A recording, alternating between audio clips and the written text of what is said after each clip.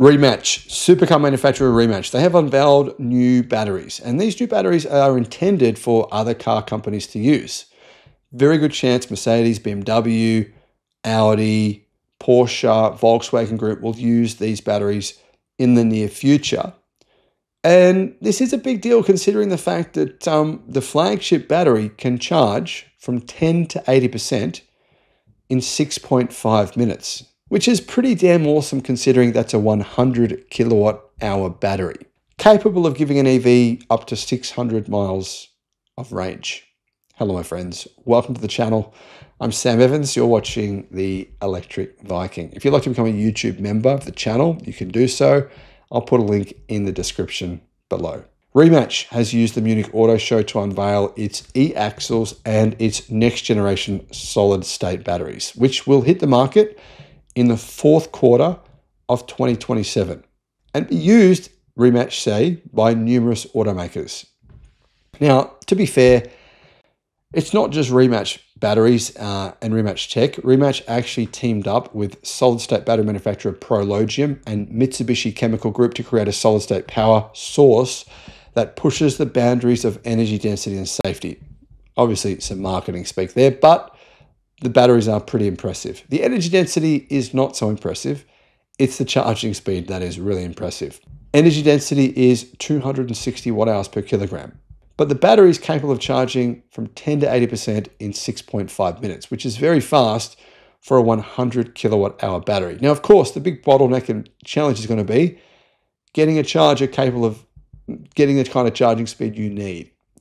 Assuming these batteries can maintain a very high state of charge, you'd probably be able to use a 500 kilowatt charger to actually achieve this feat, 6.5 minutes from 10 to 80%.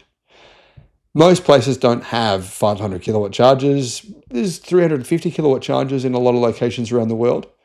Using one of those, you'd probably be looking at more like a 12 minute charge.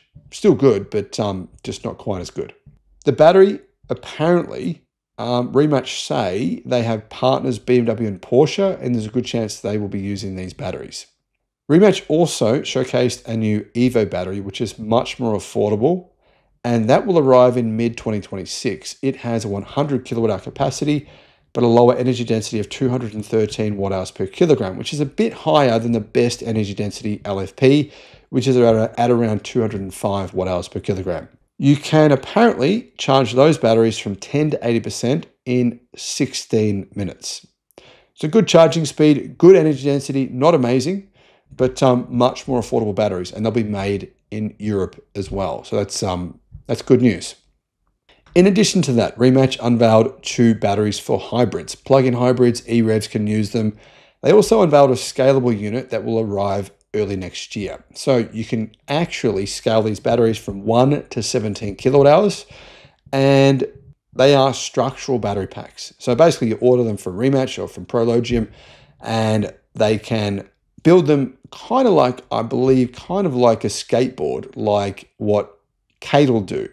Now, besides batteries, Rimac also unveiled some other technology. They're 300, they're called Synteg 300 and Synteg 550 e-axles. These are designed for performance-focused vehicles, from hot hatches to SUVs, a number of different cars. And they are, well, they produce a range of power. You can buy different versions. 201 horsepower or 150 kilowatt for the base version, and 483 horsepower or 360 kilowatt for the top spec SUV version. Um, yeah, production happens next year. So that's a lot of power, right? 360 kilowatt or 483 horsepower. Put four of those on a car, you could, and you're looking at about or nearly 2,000 horsepower. But to give you some context, BYD's electric supercar has 3,000 horsepower from four motors. So they're powerful, but not quite at that BYD supercar level. Rimac COO Nerden Peterovich said this What we're showcasing at IAA represents the convergence and breakthrough to innovation and production readiness. These aren't simply concept technologies, they've been developed to be production ready solutions that will power hundreds of thousands of vehicles in the coming years. So they're not made for supercars particularly, this is made for mainstream vehicles. So, what does that say? I mean, these solid state batteries would be awesome to see in a range of different vehicles I think this kind of charging I mean, it's as fast, right? It's as fast as filling up your car with gasoline, pretty much. This is the future of the EV industry, and it's pretty damn exciting. What are your thoughts? Thanks for watching. Mercedes Benz, they are currently testing, in fact, several cars, several Mercedes Benz vehicles have been spotted testing on a number of occasions with a new solid state battery providing over 600 miles of range. So we're talking a thousand kilometers of range here. Are these batteries coming soon? Well, Mercedes Benz have provided an actual date on when they will be selling these vehicles with solid state batteries in them. It's not as close as you'd expect considering all the testing that's happening, but um, at least it's being realistic. At least Mercedes Benz are actually telling the truth. Hello, my friends. Welcome to the channel. I'm Sam Evans. You're watching the Electric Viking. Great to have you with us. Mercedes Benz have launched new EVs with solid state batteries. Well, they will, at least, in the future. Not quite yet. Earlier this year, Mercedes actually put the first car powered by a lithium metal solid state battery on the road. That's a direct quote from Mercedes Benz for testing. And Mercedes has been testing prototypes in the UK and Europe since February. The company uses a modified EQS vehicle. Basically, it's an EQS EV with a different battery and some other parts as well, because you can't just swap the battery, you got to swap a few other things. The battery pack who actually developed it? Well, apparently, Mercedes Benz say it was developed in house by Mercedes Benz and its Formula One supplier unit, Mercedes AMG High Performance Powertrains, or HPP.